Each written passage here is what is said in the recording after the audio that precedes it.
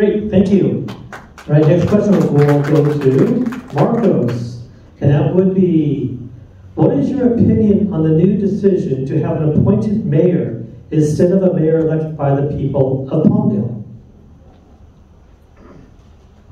Four to one was the vote by the council. I'll tell you a little history. Santa Clarita does it, right? They have a rotating mayor. So let's push it further back, right? We're in now five districts. That didn't, that wasn't a decision made here. It was a lawsuit that created that. And why was that lawsuit created? Because of lack of representation, right? Past practices. So they wanted to even the keel field for all sides of the Antelope, of the Antelope Valley. But when he came to the mayor, right?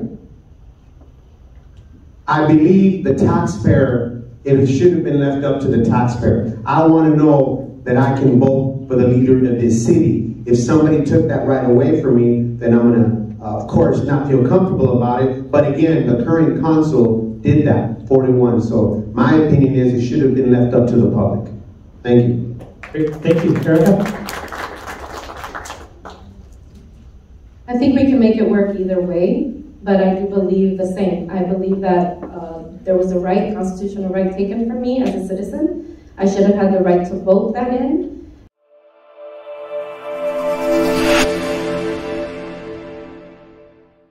Welcome to the Champions Playbook business consulting firm, where we specialize in multiplying your business sales with our business growth habits and business partnership development.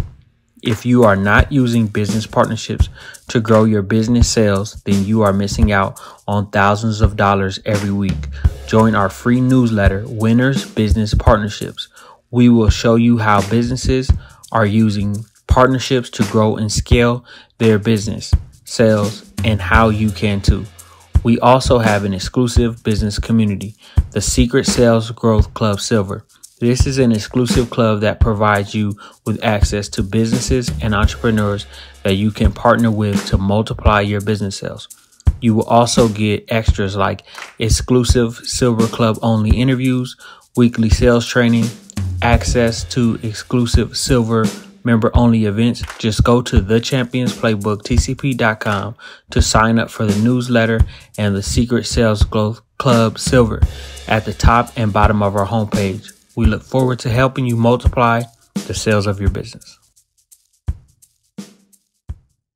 Uh, and I, but I also believe that whatever it is that uh, we're going to do, that the city council, the new city council, is going to be able to to get it done. I know at the last city council meeting, it was said that you know many of us don't have experience and it's a little shaky and this and that, but they didn't have experience when they started, you know, and I may not have all the experience on on all of what's in within the city, but I do have experience on what the people need. And so we'll make it work as a new city council. So whatever whatever it is that we decided on, we're gonna make it work, but I also know that I got robbed from my vote and I wish that it could be turned back to give me that chance.